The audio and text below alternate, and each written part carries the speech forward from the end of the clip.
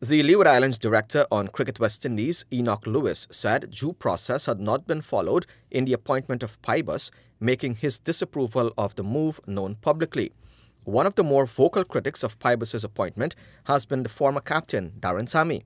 He responded to a CWI press release that referred to Pybus as the architect of the West Indies trifecta of 2016 World Cup titles, that's the Men's World T20, the Women's World T20 and the Under-19 World Cup, by saying that the teams won in spite of him, not because of him.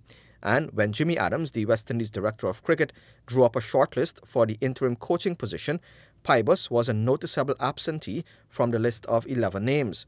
Pybus, who was the center of the dispute that saw the West Indies abandon their 2014 tour of India, said despite these criticisms, the team is focused, positive, and motivated ahead of the first test against England starting Wednesday in Barbados. He said, and I quote, Darren Sammy is entitled to his opinion. You'll have to ask him about that. Criticism is part of the game, part of the tapestry and the drama around sport. We have just got to get on with the job, really. I don't really want to unpack the past. The team are very focused, positive, and motivated. You guys will write your stories, create a bit of angle and drama, but from my side, I am not really worried about that. The guys are focused on the series coming up. There are no issues. End quote.